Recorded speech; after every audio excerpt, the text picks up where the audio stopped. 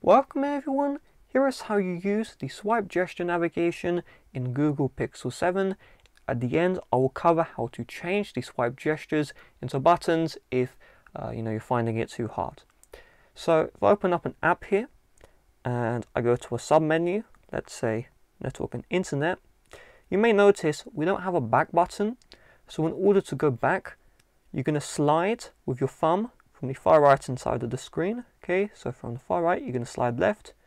You're going to see this little back icon. And when you see that icon, you just release your finger and you're going to go back, okay? And so doing this full speed, you just do a little flick from the far right, okay? And that will go back. You can also go back from the far left hand side, swiping to the right, if you would like to as well. Now, let's say I want to go home. In order to go home, you're going to flick and release where this black bar is, okay? So do a regular flick motion with your thumb and once you've done the motion, release your finger from the touchscreen. So this is how it looks. Flick release, boom, flick release, flick release, okay? As long as you're swiping from that bar at the bottom, you can see I'm going home every time. Now, in order to go to the multitasking, we're going to do that flick motion again, but instead of releasing immediately, like we've been doing, we're actually going to hold on the touchscreen for a little bit, and then we're going to release. So this is going home, flick release. Now to go to multitasking, we're going to do a flick and hold, and then we're going to release, okay? And this time, we're brought to multitasking. So, in order to break this down, to make it simple, when you flick and hold, the Google Pixel 7 is going to make a vibration. When you feel that vibration, that is your cue to release your finger from the touchscreen, okay? So I'm going to flick and hold for the vibration and now release. So full speed, you can see very quickly accessing the multitasking, okay? Just like this, nice and fast.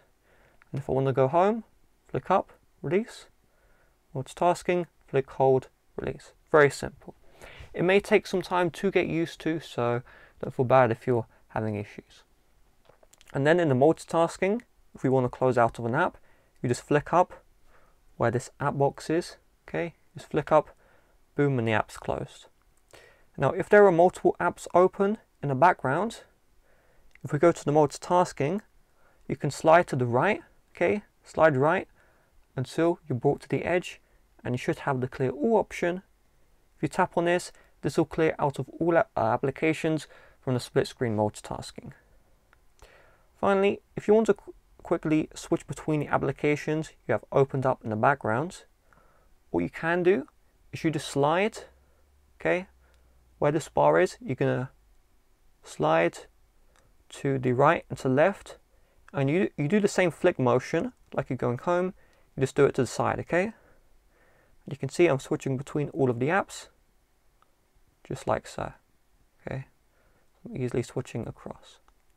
Now, sometimes if the application is in landscape view, you can see the bar is here. So of course, in that case, you're swiping from this bar. You're not going to swipe from here. You just swipe where the bar is, all right?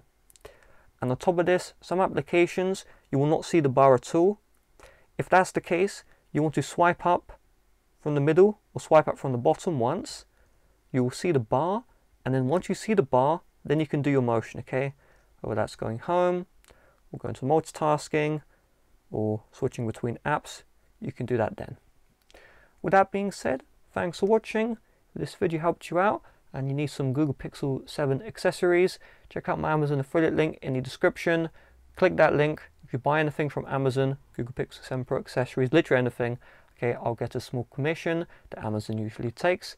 And yeah, bye-bye.